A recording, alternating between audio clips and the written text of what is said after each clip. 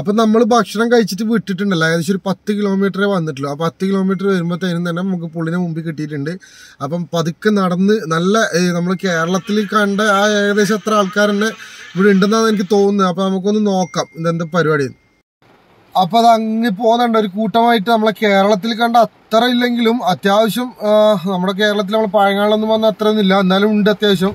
ഞാനൊക്കെ പ്രതീക്ഷ എന്ന് പറഞ്ഞാൽ കേരളം വിട്ട് കർണാടകയിലേക്ക് മാറിക്കഴിഞ്ഞാൽ അങ്ങനെ ഒരു വലിയൊരു ആൾക്കൂട്ടൊന്നും ഉണ്ടാവില്ല എന്നാണ്. പക്ഷെ പ്രതീക്ഷകൾക്കൊക്കെ തെറ്റിച്ചിട്ടാണ് ഇവിടെ ആൾക്കാരെ കാണാൻ പറ്റുന്നത്. അത് മാത്രമല്ല നല്ല കട്ട മഴ പെയ്യുന്നത് ആ മഴനെല്ലാം ഒരു വലിയ വിഷയാക്കാണ്ടാണ് ആൾക്കാർ ശ്യാമിനെയും കൊണ്ട് മറ്റേ ശ്യാമിന്റെ കൂടെ നടക്കുന്നത്. അപ്പം ഇപ്പം അടുത്ത നീക്കം എവിടത്തേക്കാണെന്നൊന്നും അറിയില്ല. ഞങ്ങളും പിന്നാലെ കൂടിയിട്ടാണ് ഉള്ളത്. അപ്പം എന്തായാലും നല്ല മഴ നല്ല മഴ എന്ന് പറഞ്ഞു കഴിഞ്ഞാൽ ഭയങ്കര കട്ട മഴയാണ്. അപ്പോൾ ഇത് ഏതൊരു പള്ളിയാന്ന് തോന്നുന്നു. പള്ളിയിലേക്ക് ആ ഏകദേശം ലുഹറിന്റെ സമയമായതുകൊണ്ട് പള്ളിയിലേക്ക് നൈസായിട്ട് കയറാനുള്ള പരിപാടിയാണ്.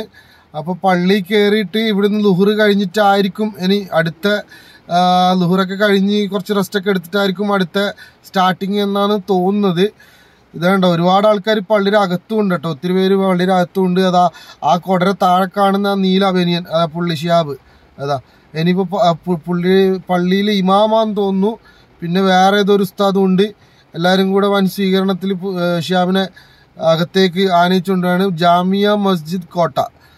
അതാണ് പള്ളിയുടെ പേര് ജാമിയ മസ്ജിദ് കോട്ട. വലിയ നല്ല അടിപൊളി പള്ളിയാണ് ജുമാത്തള്ളിയാന്ന് തോന്നുന്നു ഇവിടുത്തെ.